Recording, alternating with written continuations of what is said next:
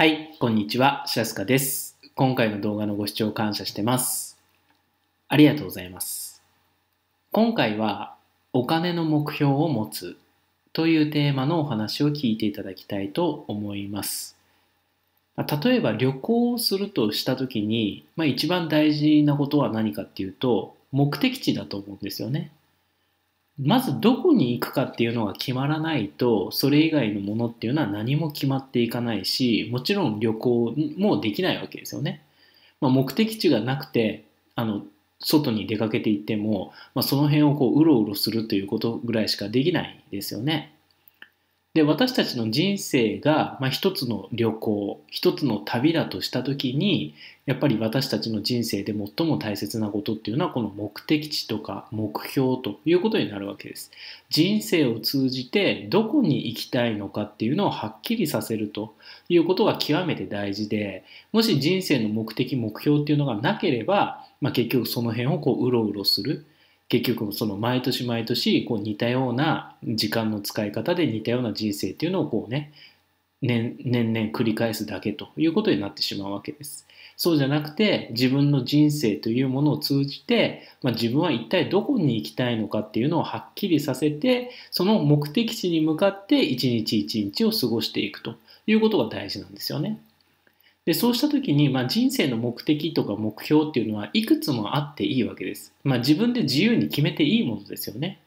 その1つでもいいし3つでもいいし10個でもいいわけです。ね、健康面の目標とか、ね、仕事の目標とか、まあ、人間関係の目標とか趣味の目標とか特技の目標とかねもしくはその自分の精神性に関する目標とか、まあ、いくつもねあの自分がもし作りたいものもちろんそのね自分が手に入れたいものでもいいわけです。ね、こんな場所に住みたいとかこんな車に乗りたいとか、ねまあ、そういったものでもいいわけですよね。だから目標っていうのはいくつも持っていいわけですけれども、ね、その中に必ず一つは含めた方がいいものっていうのが今回のお金の目標というものになります。お金の目標っていうのも必ず目標の中の一つに含めた方がいいということなんですね。逆の言い方をしたらお金の目標が入らないとなかなか人生っていうのは年々こうね良くなっていくってことはないということなんです。で私たちの人生にはね曖昧なままにしておいた方がいいものと白黒はっきり決着つけた方がいいものっていうのが両方あるんですね。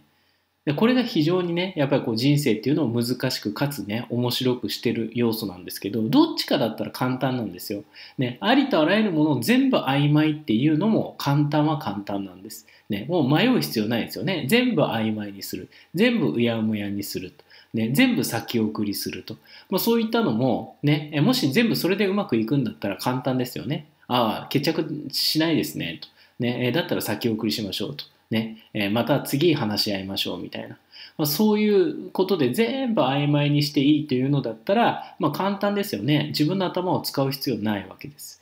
逆にね、全部白黒はっきりつけるっていうんだったら、これはこれでね、一応迷うことはないわけですよ。ね、もうすべて白黒はっきりつけると。ね、もう必ずその時その場でね、えー、どっちが正しいかっていうね、まるで裁判をやってるかのように、毎回毎回白黒はっきりつけ続けるっていうんだったら、まあ迷いはないですよね。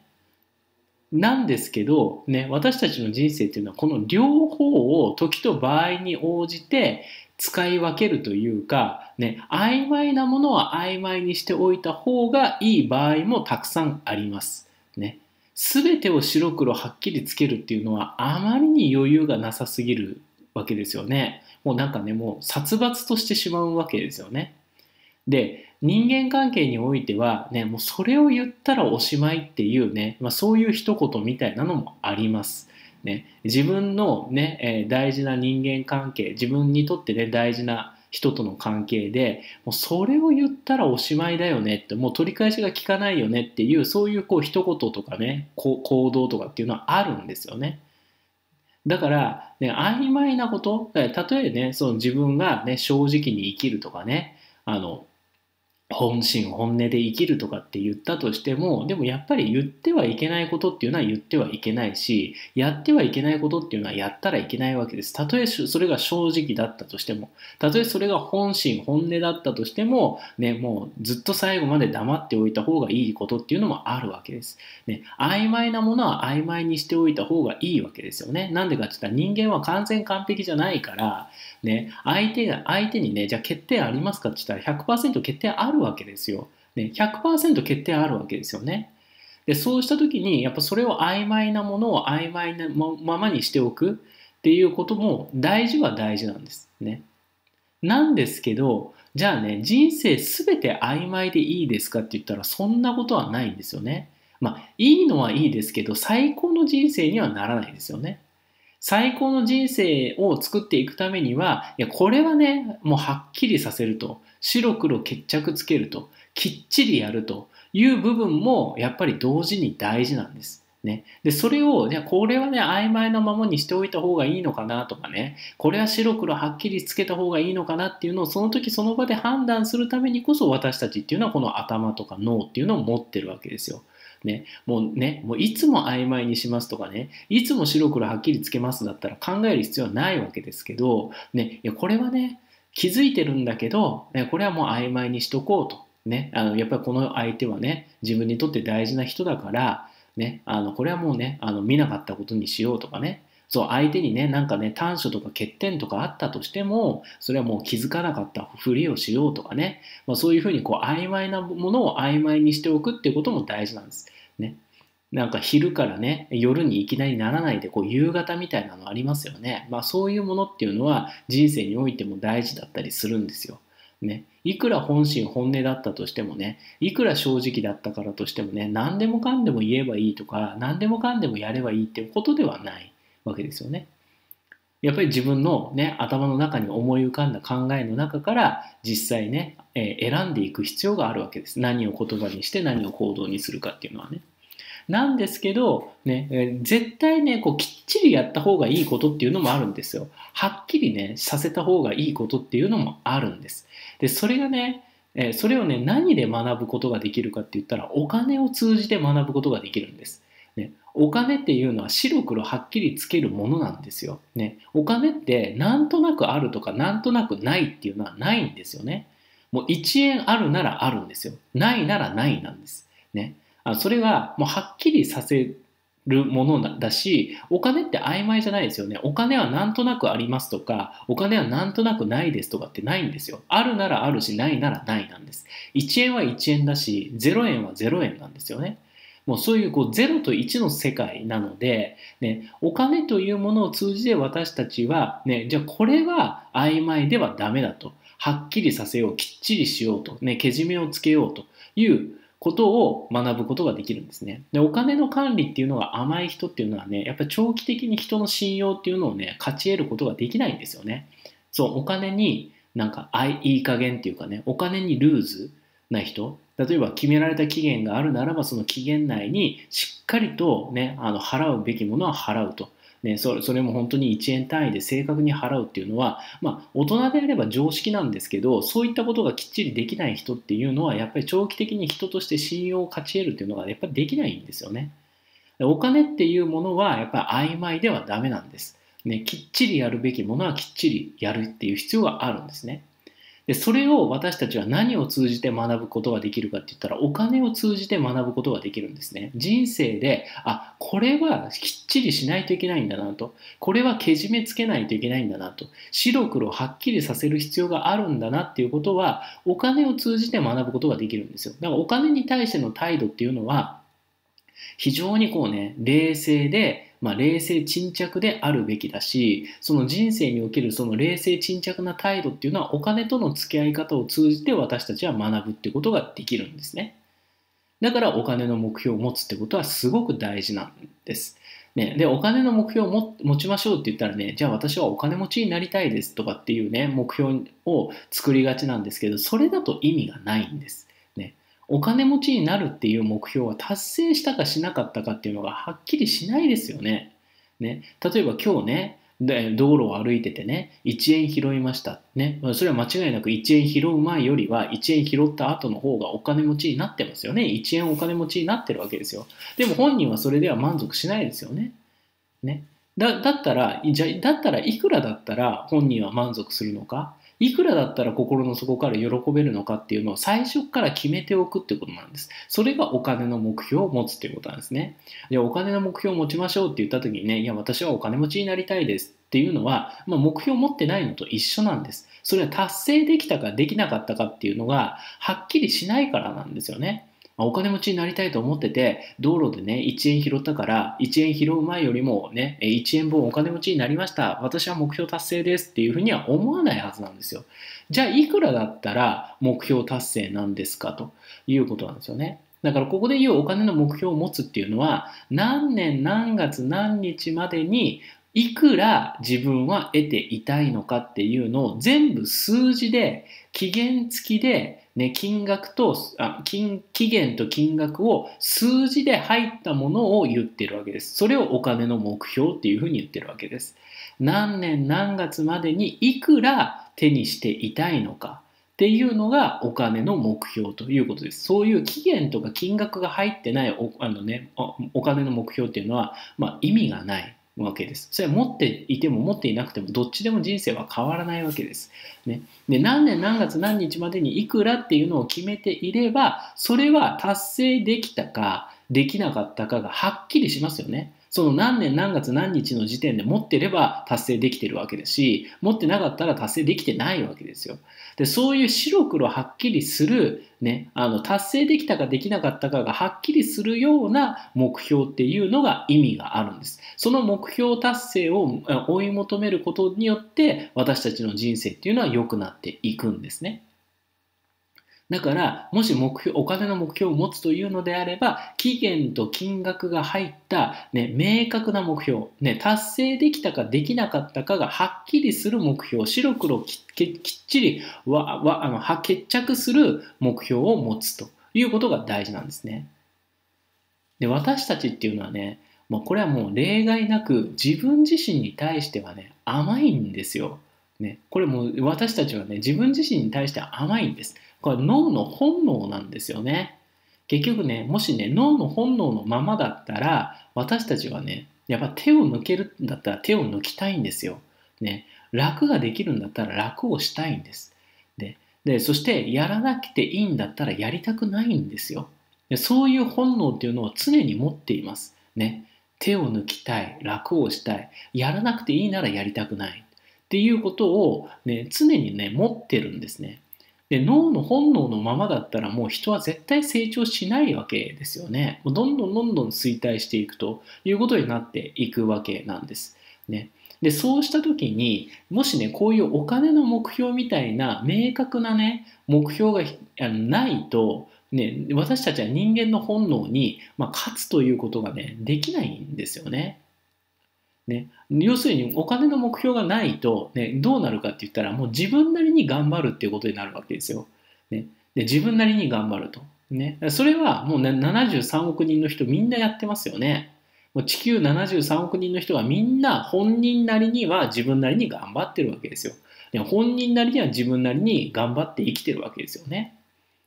ね、だから、ね、お金の目標がないと、ね、どんな人生になるかって言ったら自分なりなんですよ。基準が非常に甘くなるわけなんですよね。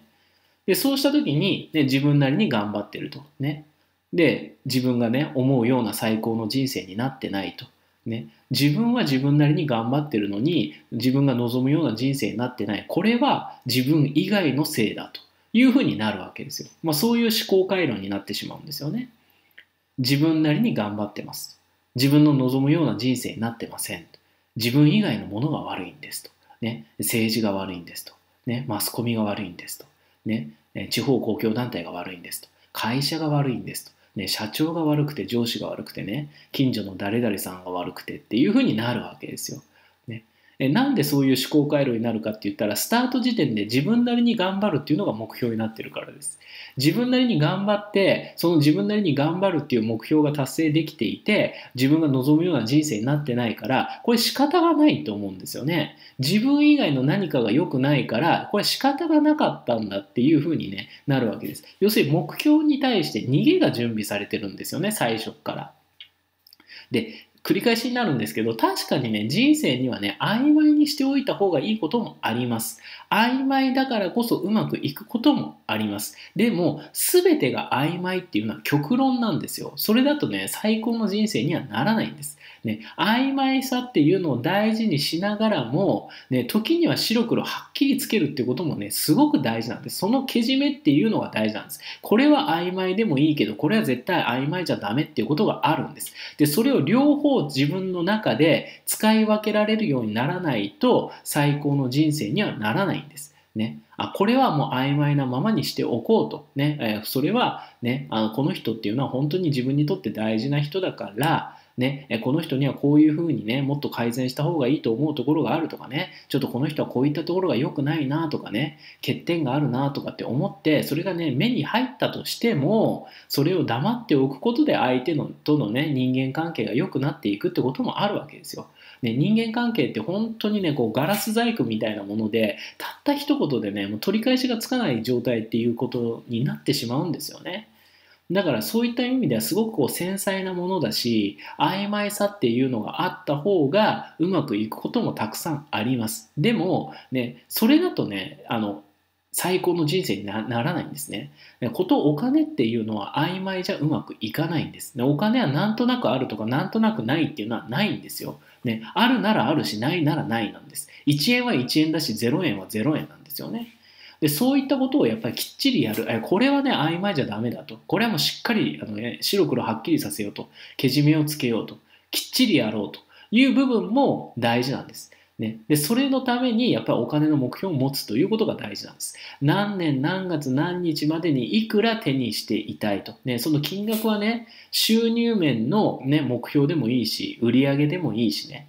ね、もしくは支出でもいいんですよね。支出をいくら以内に抑えると。ね、その支出抑制の目標でもいいんです。もしくはもう単純にね、貯金額でもいいし、ね、会社であれば利益の目標でもいいわけですよ。利益額としていくらの利益とかね。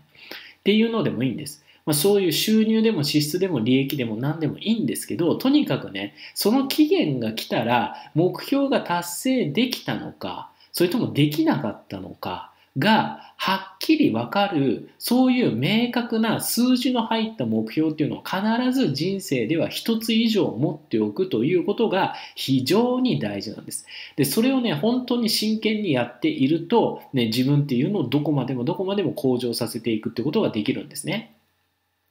なので、ね、もしね、本当に自分がね、何年何月何日までにいくらっていうね、もうはっきりしてる目標を持っているならば、ね、やっぱりね、考えるわけですよ。ね、何年何月何日までにって。要するにこう自分自身を追い込んでますよね。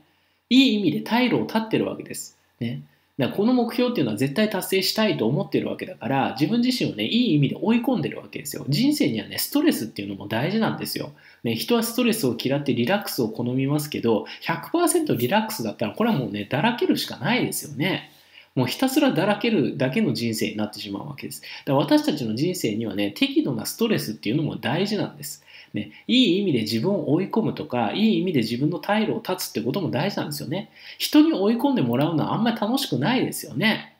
人から他人、あの人からね、自分のあの、ね、欠点をね、指摘されて面白いと思う人はいないわけですよ。ね、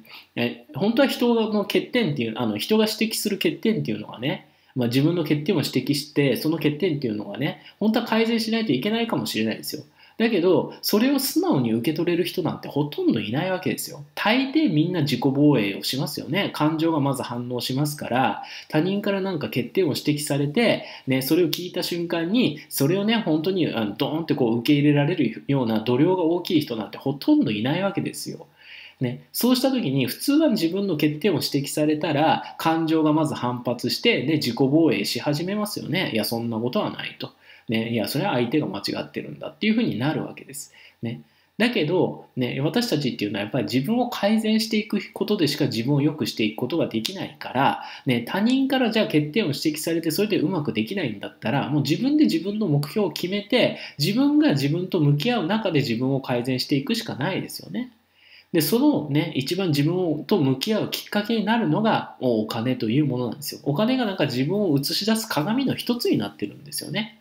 お金を通じて自分の心を見るってことができるんです。ね、そうした時にお金に課題を持ってる人っていうのは必ず、ね、このね、白黒はっきりつけるとか、けじめをつけるとかね、きっちりやるべきことをきっちりやるっていうことがね、緩いんですね。一言で言うと。ね、全部曖昧なままにしておこうとするんですよ。ね、だからそのお金に関しての約束っていうのがきっちり守れないんですね。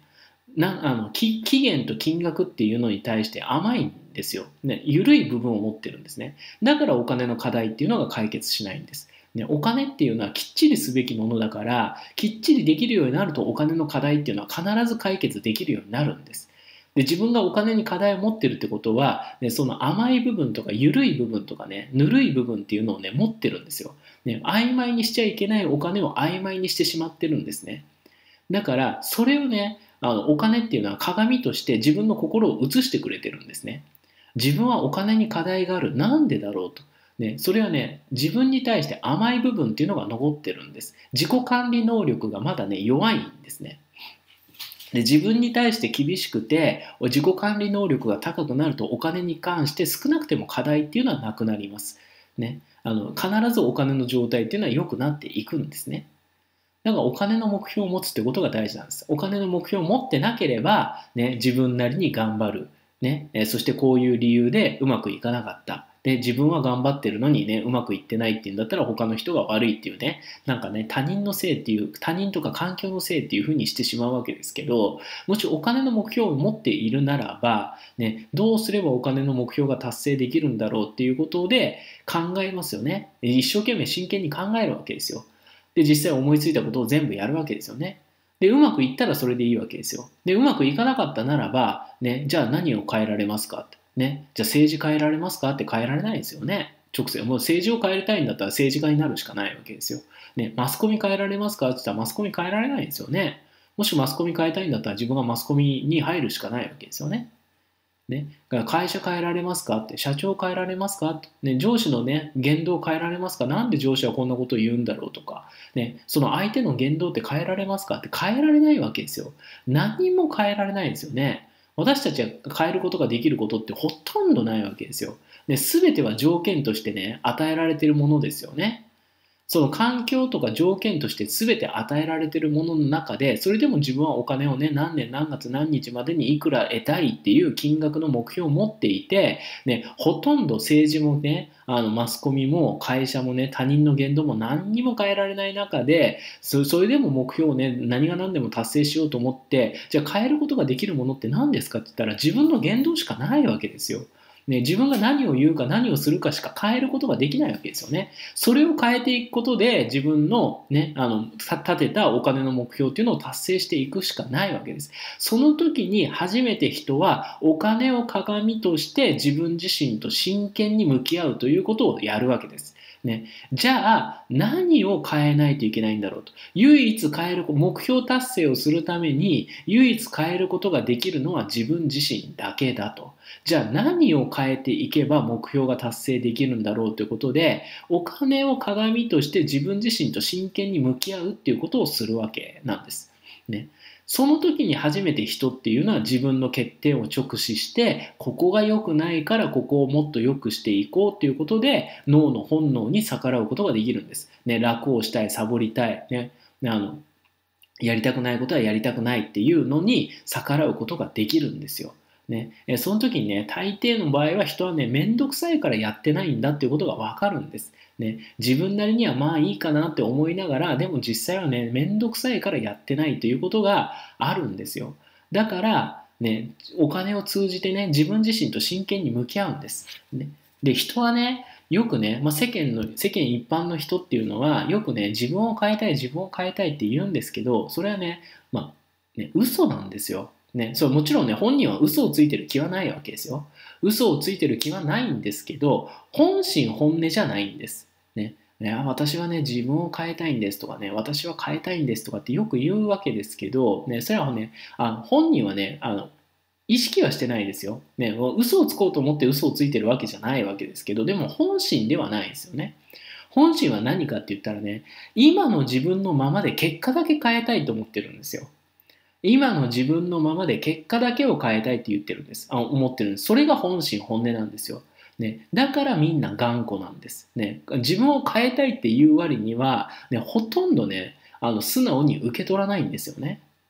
ね、結局自分今の自分のままで結果だけが不満だから結果を変えたいって言ってるんですよね。その結果を変えたいのを自分を変えたいっていうのとこう、ね、誤解して、ね、認識してるんですよね。本当は自分を変えたいんじゃなくて結果を変えたいんです、ね、自分を本当に、ね、変えたいって思ってる、ね、そういうこう謙虚な人なんてほとんどいないわけですよ。1%いるかどうかぐらいしかいない。わけです。ほとんどの人は今の自分のままで結果に不満があるから結果を変えたいんです。ね。だからすごく頑固なんですよ。人っていうのはね、こう過去にとらわれるし、過去に作った自分っていうものにとらわれるんですね。もし今の自分を否定したら、これ過去の自分の人生を否定することになるから、本当はやりたくないんですよ、人は。ね、本当は人は自分をね、否定したいんじゃなくて肯定したいわけです。自分を肯定したいっていうのは過去に作ってきた自分を肯定したいんですよね。だから人間っていうのは自分の過去に執着するし、過去に作ってきた自分っていうのを守りたいんですよ。それを正当化したいんです。守りたいんですね。防衛したいんですね。だから自分を変えたいっていうのは、ね、もちろん表面上はそう言ってたとしても本心本音じゃないんです。ね、本心本音は今の自分のままで結果を変えたいんです。ね、だから本心本音はいつか自分の凄さを世間の人が認めてくれる日が来るという幻想を持ってるんです。ね、自分自身を変えたいんじゃないんですよ。自分の凄さをみんなに認めてもらいたいんですね。で、自分を認めてもらえさえすれば、世間が自分のことを認めてくれたら結果が変わるって思ってるんです。でもね、実際は違うんですよ。それはね、ちょっと厳しいかもしれないですけど、幻想なんですよね。世間の評価っていうのはね、結構当たってるんですよ。ね、結構当たってるんです。ね。だからこう自分が自分に対して甘いんですよ。世間の評価の方がね、結構適正なんです。ね、だからもし自分が望みたい、望んでいる結果が得られてないのであれば、たとえそれが自分なりにはね、真面目で一生懸命だったとしても、改善点があるんですよ。自分の言動に。自分の言葉と行動に対してね、やっぱりね、良くないところがあるんです。もっとよくできるところがあるんですよ。ね、それはね、自分なりっていう曖昧な基準じゃダメなんです。ね、自分なりでいいんだったら、73億人がみんな日々やってるんですよ。自分なりだったら。ね。で、自分なりだったら日々やってるから改善されていかないんです。自分なりに頑張ってますと。自分なりに取り組んでますと。自分なりに努力してます。でも結果が思わしくないですっていうのはね、みんなやってるんですよ。だからそれだったらね、うまくいかないんですよね。変わっていかないんですよ。ね、自分なりじゃダメなんです。目標から逆算しないとダメなんです。目標が達成されてないのであれば、たとえ自分なりでもダメなんだっていう謙虚さが必要なんです。ね。その謙虚さを持つために、ね、達成できたかできなかったかが、はっきり、白黒はっきりするお金の目標っていうのは絶対必要なんですね。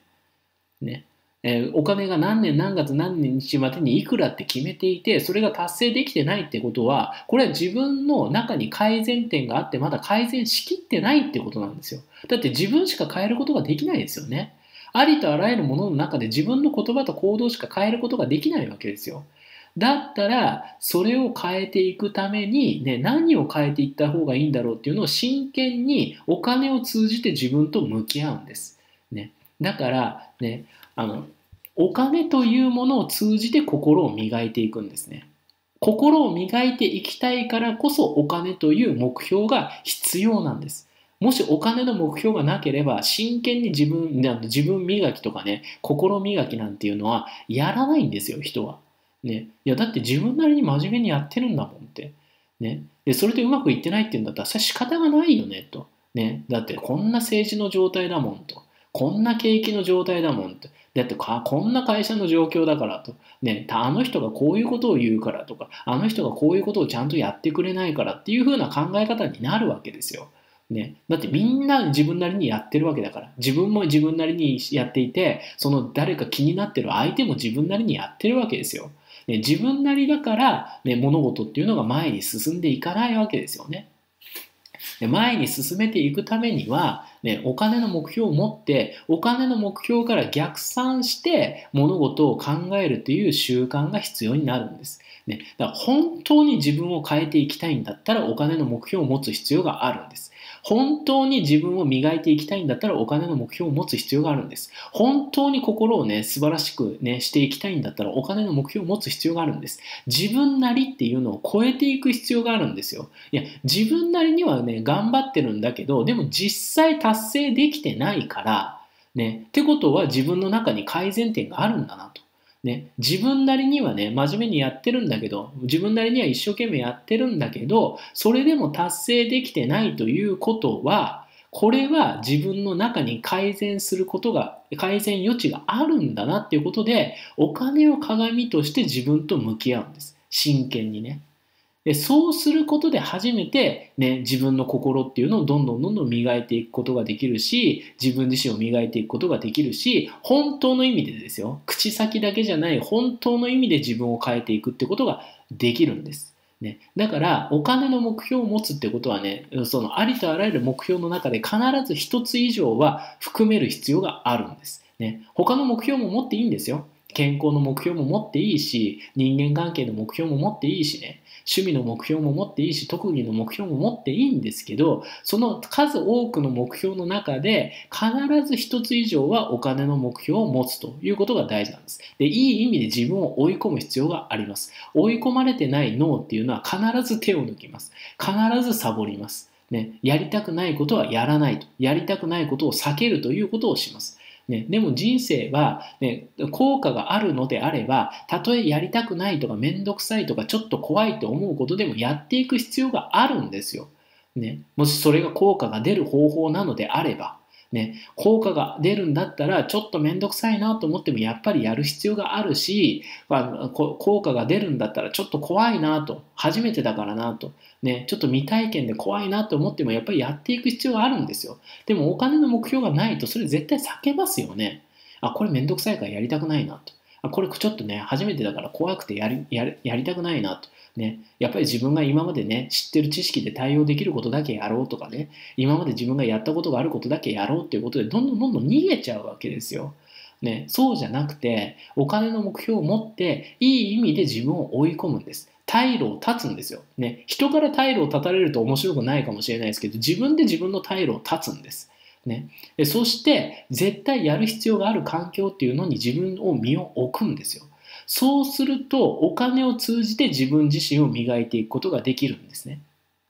そしてお金はね確かにね結果としてもねまあ嬉しいものではあると思うんですよ。ね、もちろんね、実際も自分がお金を目標が達成することができて、何年何月何日までにいくら得たいと思って本当にその金額を得ることができたら、確かにお金そのものが結果として、そのね、自分自身にね、プラスっていうのをもたらしてくれるっていうのもあります。それは確かに大きいです。ね、え例えば自由とかね、もう自分はもうやりたくないことはね、やらないとか、ね、あの付き合いたくない人とは付き合わないとかね、まあ、そういうこう物理的な自由っていうのは圧倒的にやっぱお金っていうのはね、あのもたらしてくれやすいですよね。もちろん自分が欲しいもの、例えばこんな場所に住みたいと思ってて住めるようになったとか、こんなものを持ちたいと思ってて持てるようになったとか、まあ、そういう物的な豊かさっていうのにも直結してますよね。だから確かにお金っていうのは結果としてもね、大きなもの、まあ、自由とか物理的な豊かさとか、まあ、そういったものをもたらしてくれるっていうのもありますけれども、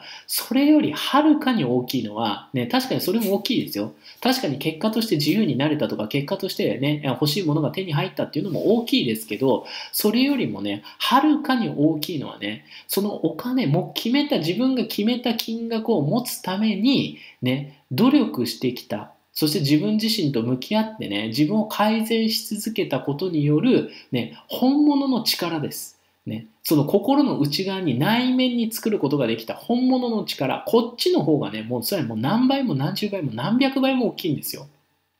ね。もう自分がそのね、決めた何年何月何日までにこの金額って決めて、その金額を実際に得ることができた。ね、自分自身とね、もう散々ね、何ヶ月何年っていうふうに自分自身と向き合い続けて、どこを自分は改善できるんだろうどこを自分は改善できるんだろうどこを自分の、ね、を改善していけばこの目標が達成できるんだろうということで、真剣にお金を鏡として自分と向き合い続けたことによって手に入った心の内なる力ですね。本物の力。それが一番大きいんです。これが最大の財産なんですよ。それがね、本当の自信っていうのを生み出すんですよ。ね。お金という目に見えるものとか、お金によって手に入るものが自信を生み出すんじゃなくて、自分はそのお金を実際に手にすることができた、そのね、お金の状態を作り出すことができた力そのものが自信になるんです。その力がね、最大の財産なんです。